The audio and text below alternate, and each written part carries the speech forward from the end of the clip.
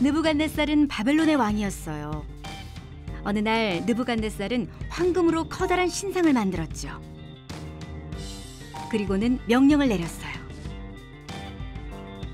음악 소리가 들리면 이 신상 앞에 엎드려 절하라. 누구든지 절하지 않는 사람은 활활 타는 불구덩이 속에 던져질 것이다. 바벨론에 있는 모든 사람은 그 규칙을 지켜야 했어요.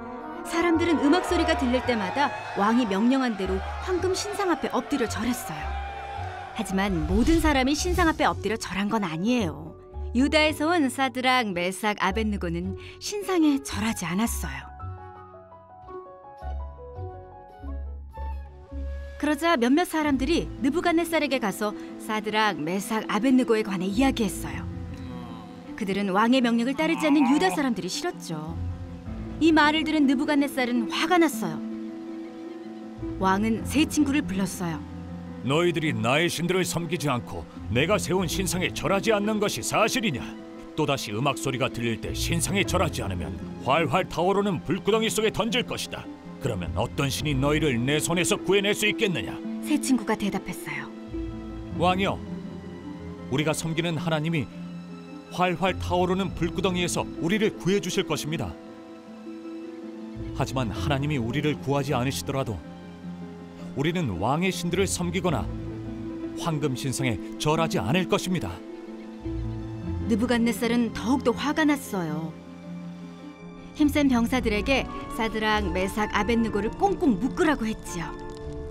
병사들은 세 친구를 활활 타오르는 불구덩이에 던졌어요. 불구덩이 안을 보던 느부갓네살은 벌떡 일어났어요. 우리가 불 속에 던진 사람은 세 명이 아니었느냐? 보아라, 불 속에서 네 사람이 걸어 다니고 있구나. 그들은 묶여 있지도 않고 네 번째 사람은 마치 신들의 아들 같다. 왕은 재빨리 불구덩이에 다가가 소리쳤어요. 높고 높으신 하나님을 섬기는 사드락, 메삭, 아벤느고야. 밖으로 나오너라. 그러자 사드락, 메삭, 아벤느고가 불 속에서 나왔어요.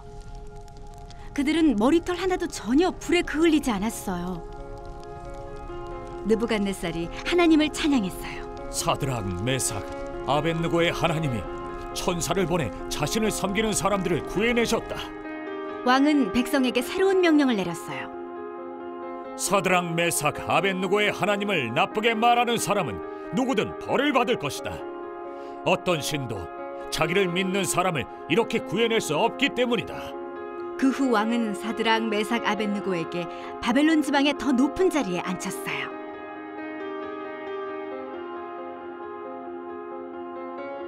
하나님은 사드락, 메삭, 아벤누고와 함께 불 속에 계셨어요. 하나님만이 그들을 구해내실 수 있었어요. 하나님은 아들인 예수님을 통해 우리를 구원하세요. 예수님만이 우리를 죄에서 구원하실 수 있어요. 십자가에서 죽으시고 살아나신 예수님으로 인해 우리는 죄에서 구원받고 영원한 생명을 얻을 수 있어요.